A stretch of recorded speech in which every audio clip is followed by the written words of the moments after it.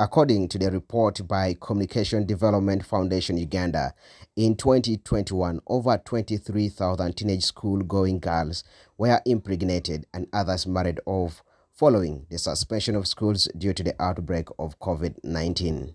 However, most learners have picked back interest to return to school following the sensitization by the School Family Initiative Program.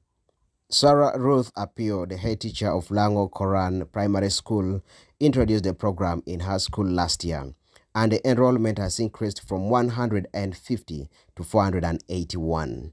She says under the School Family Initiative, each family is under patronage of one teacher. Days are set aside for family meetings, which are often conducted after classes. Initiative program in this school we divided the children into families. Each, each teacher have a family and each teacher or each family have a name. We have names like Zebra, we have names like uh, Jesus Cares and so on. By the time we started, we were having some pupils who had bad behaviors and even bitter languages. But at the moment, there's improvement. I'm seeing there's change in their behaviors, even respect they have. They are even free to their family leaders. The program has had a great impact on the learners' behavioral change in the school, and this is according to Daniel Ojok, a teacher at Lango Koran Primary School. Uh, we started this uh, this uh, kind of arrangement this time.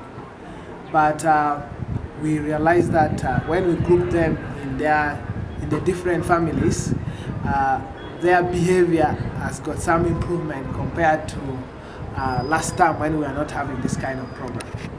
Uh, in this kind of arrangement, we try to make them be very close to us and make them be very free and tell us everything that they go through during their daily, daily activities, both at home and at school. Haji Musa Odongo Ayo, the chairperson Parents and Teachers Association at Lango Koran Primary School, held parents responsible for low retention rate in school.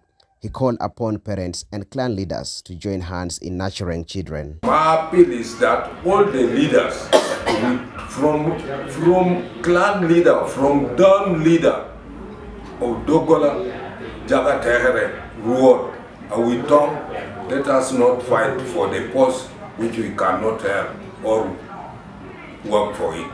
We must see that we fight to, to take over the problem of the clan.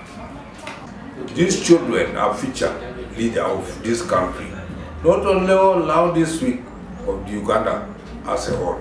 The School Family Initiative Program was introduced in 2007 by the Ministry of Education and Sports to foster discipline in schools, discuss issues of conflict transformation, harmonious living, and peaceful coexistence among the learners. However, most schools did not embrace it. This story has been compiled by Solomon Okabo for the news.